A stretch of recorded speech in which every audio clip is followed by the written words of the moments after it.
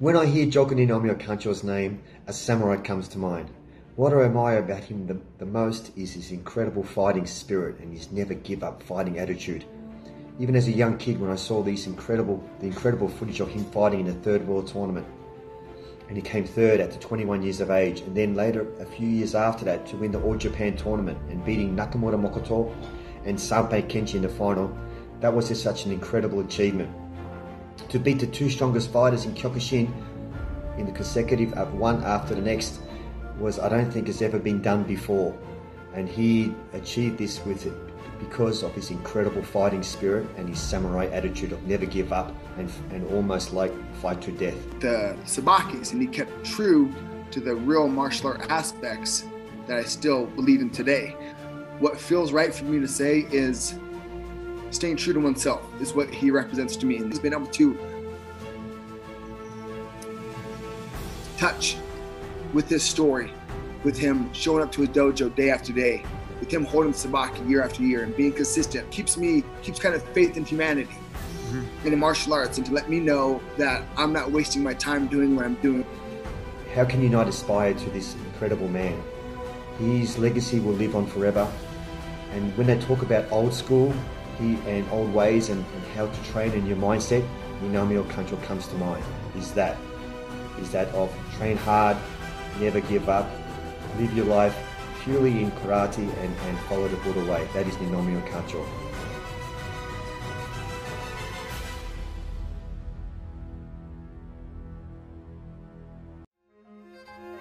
Seimei no Totosa is the Japanese phrase, life is precious. We are all given the gift of life, and the moment we appreciate that gift, we have the strength to fight for what we care about. In 1978, he won first place in the All Japan the Super Bowl of karate tournaments, with over a hundred fighters from around the world competing over the span of two days. From the humble beginnings of hanging a heavy bag in Cheesman Park, he started alone but soon captivated the fascination of others.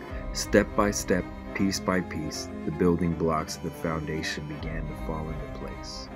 He continued with his journey in karate and went on to teach countless numbers of students, transforming and touching many lives in the process.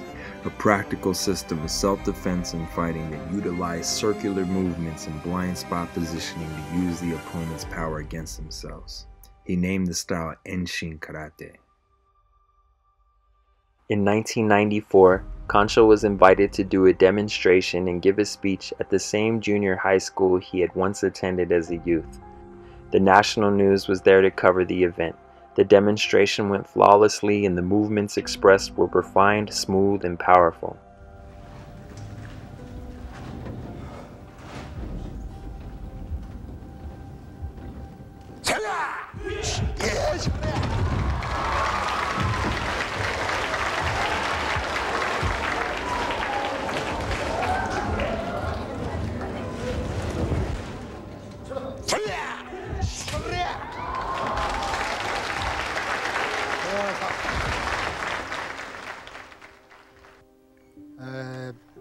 There he gave an inspirational message to a group of school children and spoke about the gift he received when he was their age.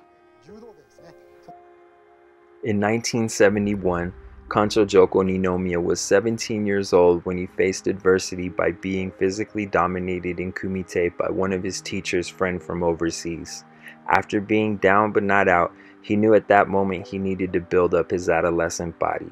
So unlike many kids his age, he spent a whole summer break from school training in isolation. Away from the bustle of normal beachgoers, he found a quiet spot and set up a tent next to a bush. By coincidence, a woman who was a school teacher living nearby noticed his tent and the abnormal tenacity that young Joko possessed. While most people went to the beach for leisure, she noticed Joko on the other hand was there with a different purpose. After a hard day's training, he came back to his spot and found a mysterious gift. The teenage Joko, who was used to eating old rice, had no clue who had given him this precious gift. It was the seemingly simple gift of an egg, but to Joko it meant much more and it awoke within him a warm appreciation for this unknown onlooker. He took this deep sense of gratitude and embraced the responsibility to try his hardest. In doing so, he inspired the world through his passion. By coincidence, a family who was viewing the newscast was captivated by the story of Kancho and the egg. To their amazement, they knew exactly who the mysterious woman was, and 25 years after the gift of the egg was given, they reached out and the fateful connection was made.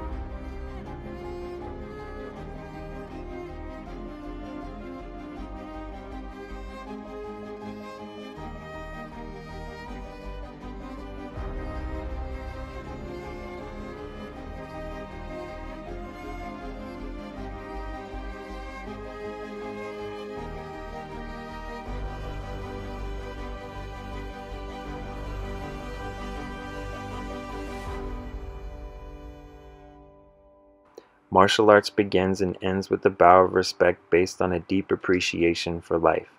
Two people who shared this experience had finally met one another, and Kancho was able to express his deep gratitude for the egg that reminded him, Seimei no totosa, life is precious. The woman was 91 years old at the time and was no longer a mystery, but Kancho always carried with him that warm, wholesome feeling that was gifted to him during that time in his life. When they were united, the broadcaster came to cover the amazing story, and she gave a heartfelt message to the children. She expressed to them that it was important to try hard, to never give up, and to pursue dreams, because even in her death, she will forever be waiting that next hero.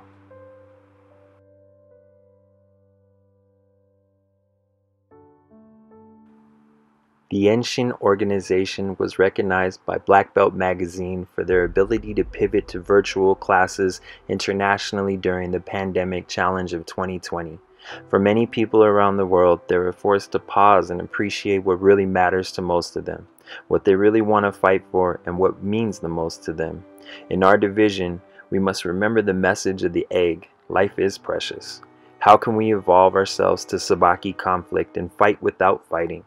Kancho Joko Ninomiya is the founder of such a system that connects us to a universal truth that we are all connected beyond our differences.